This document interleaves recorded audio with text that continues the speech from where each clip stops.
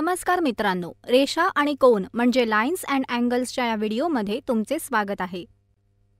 मागच्या व्हिडिओमध्ये आपण रेषा आणि कोनांची मूलभूत पदे आणि व्याख्या म्हणजे basic terms and definitions of lines and अँगल्सवर चर्चा केलेली आहे. आज आपण रेषा आणि कोनांची मूलभूत पदे आणि व्याख्या या संबंधित काही प्रश्न सोडवू. चला आपण पहिल्या प्रश्नाने सुरुवात करूया. दिलेल्या आकृत्या पाहून त्यांना ओळखा. मित्रांनो पहिली आकृती पहा. यामध्ये दोन्ही बाजूंना बाणाचे चिन्ह आहे आणि हे दर्शवते की याला दोन्ही दिशांनी वाढवले जाऊ शकते. म्हणून ही एक रेषा म्हणजे लाईन आहे. रेषा ए बी आणि हिला आपण अशा प्रकारे दर्शवतो. दुसरी आकृती पहा. यामध्ये एका टोकावर बिंदू आणि दुसऱ्या टोकावर बाणाचे चिन्ह आहे. म्हणजे याला फक्त एकाच दिशेने वाढवले जाऊ शकते. म्हणून हा किरण क्यू आहे. याला आपण अशा प्रकारे दर्शवतो.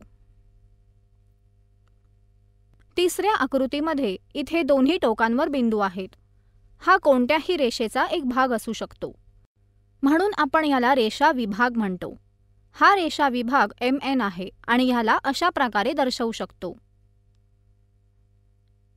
या आकृतीमध्ये एक कोन दिलेला आहे. कोन एबीसी आणि याला पाहून आपण सहजपणे म्हणू शकतो की याचे माप नव्वद अंशापेक्षा कमी आहे. म्हणून कोन एबीसी एक लघुकोन आहे. मित्रांनो पुढील आकृतीमध्येही एक कोन दिलेला आहे. कोन पी क्यू आर आणि याचे माप एकशे ऐंशी अंशापेक्षा जास्त आहे. म्हणून आपण म्हणू शकतो की हा कोन प्रविशाल कोन म्हणजेच रिफ्लेक्स अँगल आहे. चला पुढे जाऊया आणि दुसरा प्रश्न पाहूया. दिलेल्या कोनांची आकृतीसहित व्याख्या सांगा. पहिला न्यूनतापूरक म्हणजेच कॉम्प्लिमेंटरी अँगल याची व्याख्या काहीशी अशा प्रकारची आहे. जर दोन कोनांची बेरीज उजवा कोन असेल म्हणजे दोन कोन जोडल्यावर त्यांचे माप नव्वद अंश असेल तर अशा कोनांना आपण न्यूनतापूरक म्हणजे कॉम्प्लिमेंटरी अँगल म्हणतो. जसे या आकृतीला पहा. कोन एक्स वाय झेडमध्ये कोन एक्स वाय डब्ल्यूचे माप तीस अंश आहे. आणि कोन डब्ल्यू वाय झेडचे माप साठ अंश आहे. दोघांना जोडल्यावर आपल्याला नव्वद अंश मिळाले. म्हणजे हे दोन्ही कोन न्यूनतापूरक म्हणजे कॉम्प्लिमेंटरी अँगल आहेत. चला आता पूरक कोनाची व्याख्या पाहूया.